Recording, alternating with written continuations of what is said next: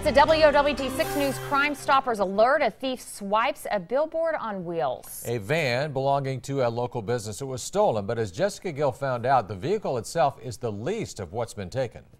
Luckily today I had a friend help me out with a trailer because we didn't have the van to use.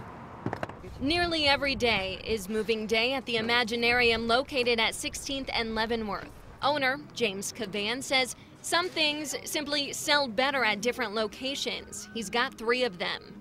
Not only does merchandise need to be moved on a fairly regular basis, Cavan delivers items too. It's something he hasn't been able to do as of late, though, because his company van was stolen. I had it loaded with probably $2,000 worth of merchandise, uh, my drill, which I use all the time.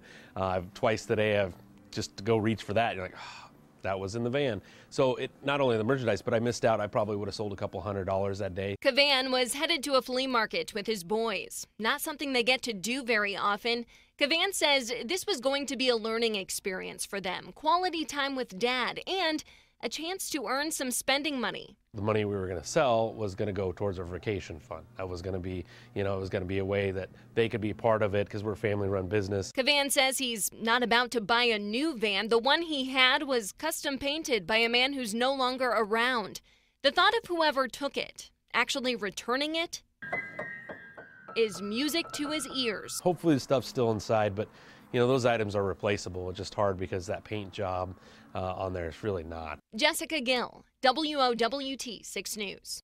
And if you want a closer look at the van and its paint job, we have posted this under the story on our app and also at WOWT.com. And if you see it, you're asked to call Crime Stoppers. It's 402 444 STOP.